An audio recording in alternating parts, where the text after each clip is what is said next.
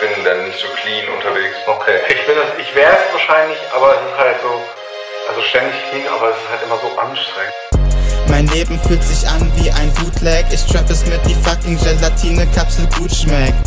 Weil Satan meine Songs hört und Blut leckt. Bastard, ich nimm mir mit meiner Seele auch die Wut weg.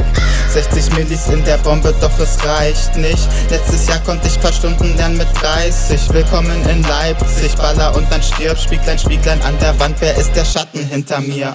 Erinnerungslücken, der Shit bimst mein Brain, aber alles ist vergänglich. Ist doch okay, seit nem Jahr keine Gefühle, hab zum Wein keine Zeit. Ich muss Leistungen erbringen, Bro, und deshalb ist mein Grind. Zwei, drei Bomben in der Uni-Bibliothek und die anderen merken nix, denn ich play es wieder safe. Physikprüfung in zwei Wochen, Bro, ich geh auf keine Raves, aber wenn die Schatten nachher kommen, gehe ich insane. Zwei, drei Bomben in der Uni-Bibliothek, zwei, drei Bomben in der Uni-Bibliothek. Jeden Morgen, wenn ich aufwach, merke ich wieder, dass ich lebe, doch ich krieg die erste Bombe und ab da ist es okay.